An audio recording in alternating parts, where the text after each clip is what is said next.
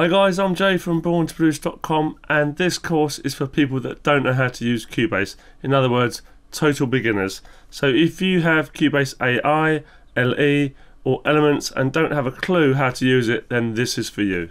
Over the next few lessons, I'm going to show you how to record a guitar, how to program in some drums, a piano, soft version of course, and then I'll show you how to mix it all together. So I'll see you then. So the first thing you see when you open up Cubase is the Steinberg hub and if you don't see it you can always just come up to hub and click open here.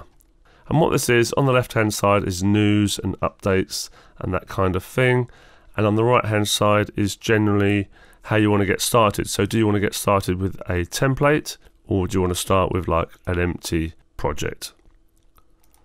Now, of course, if you want to, you know, record acoustic guitar or whatever, you can choose one of these templates and it will load up all the necessary inputs and tracks for you, maybe with some plugins on as well, or you can go to production. So, for example, if you want electro production, it will already load you up a load of uh, electronic drums and synths and put some plugins on there for you as well. But really, I don't think you're going to learn too much by using templates. So I'm going to strongly advise you go to empty and follow along with me with this tutorial because it's the same with anything, isn't it, folks? If you do something yourself, you're far more likely to learn it and remember it. So let's do that. Go to empty. And down the bottom here, it's always best to go prompt for project location. So go to create. And now we're going to choose where we're going to save this project. So I'm going to go to Cubase projects. Now you can either create a new folder, or I'm just going to use one I've already used before, which is AI course track. But feel free to select or create your own folder. And you'll also notice that the next thing we need to do is save the project because it says untitled at the moment. So file, save as, call it test or whatever it is you want to do. So I want to call this AI demo track. And the next thing we want to do is just check that we're all set up settings wise. So let's go to Studio, Studio Setup, and want to make sure that on under VST audio system you've got your sound card selected. Now normally I would use my Yamaha Steinberg, I've got the UR22 Mark II. So just choose that if you have that or choose whatever sound card you have. I'm only using Voicemeeter because it's a way of recording this tutorial, that's the only reason. And the only other thing really we need to do or to check at this point is project project setup. So the project length is 10 minutes, which is fine. Everything else is fine, but these are the things we need to pay attention to down here is the recording file format. So we've got sample rate and bit depth. Uh, just in case you're a complete newbie and you don't know what these terms mean, basically what we're going to be doing here is recording an analog signal like a vocal or a guitar and we're going to get it into the computer which is digital and Cubase is a digital audio workstation so it's got to convert it from analog to digital and basically the sample rate is how many times it samples the audio as it's coming in. The higher the rate, the more accurate the capture. But there is a point where you know you can oversample it and it doesn't make any difference or, or very very little difference I should say. So therefore you're you're making your computer work harder and you're filling up your computer with more data that you don't need.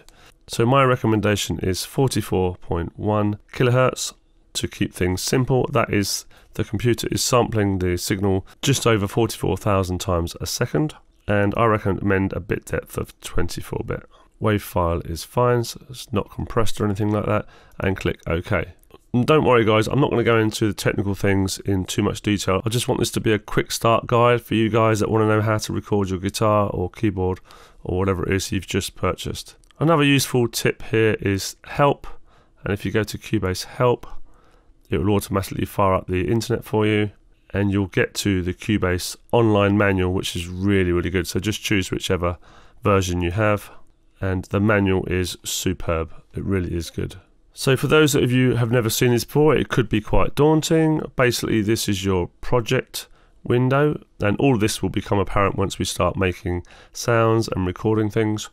But this is where we arrange the track here. It's called the project window just move this over a little bit. This is just where our tracks will go. So audio tracks, MIDI tracks.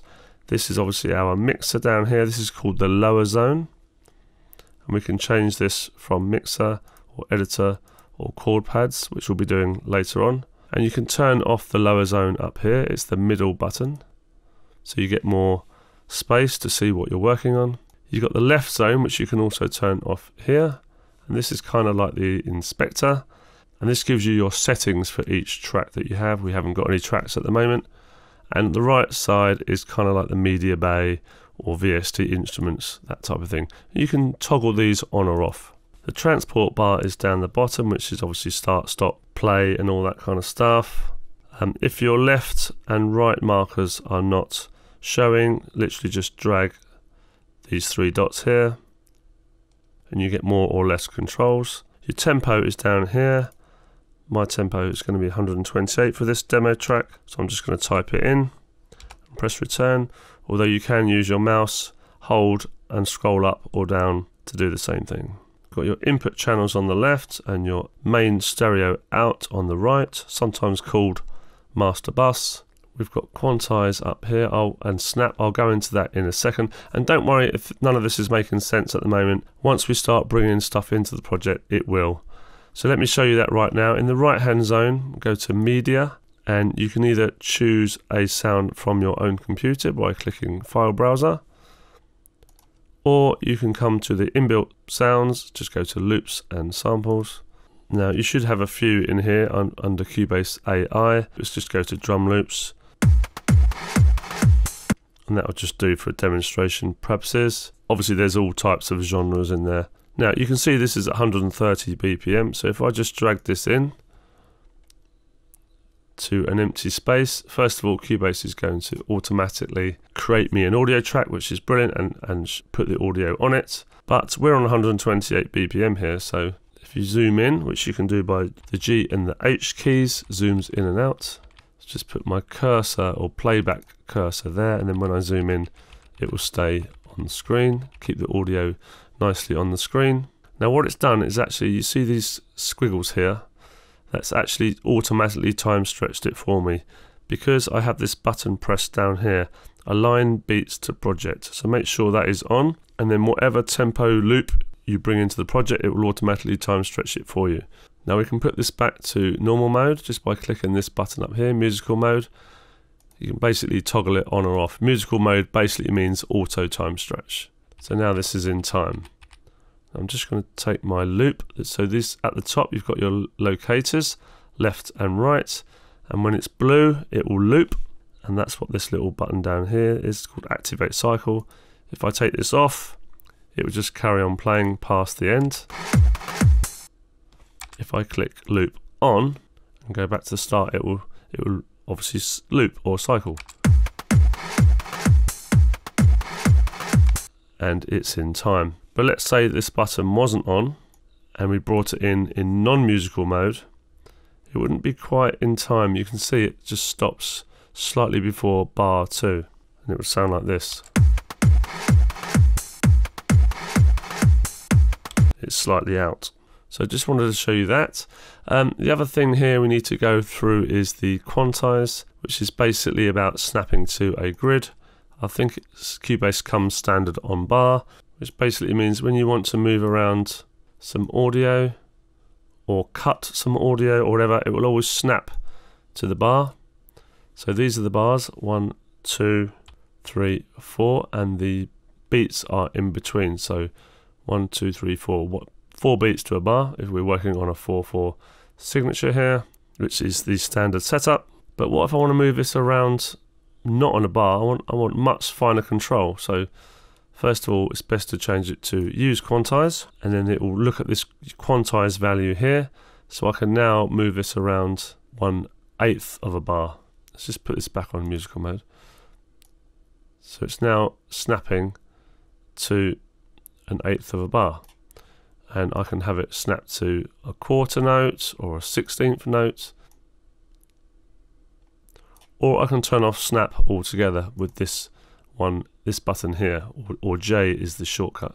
So if you want to align vocals, for example, I'm now completely free to zoom in and align these vocals as I wish without any snapping. And one final thing I want to show you in this very, very first quick setup lesson is if you highlight the audio you want to loop, rather than having to draw, you know, the loop in, let's say it's over here, rather than having to draw the loop in like this, and get it right, then go to the start, then clicking loop, then clicking play. Best thing to do is just highlight it and click Alt and P or Option and P. And Cubase is a brilliant shortcut. It's probably the best one. I use it all the time. It will automatically loop the region and start it playing for you as well and activate the cycle. So I hope this has given you a very, very brief introductory as to how Cubase works and what all the zones do and all the rest of it, how to get drum loops into your track. In the next lesson, I'm going to be showing you Groove Agent, which the, is the Cubase inbuilt drum machine. It's also a sampler as well. It's fantastic. I can't believe that it comes free with Cubase AI and LE, which are the free versions. That's a massive bonus. So I'll see you in the next one when we dive into that. See you soon.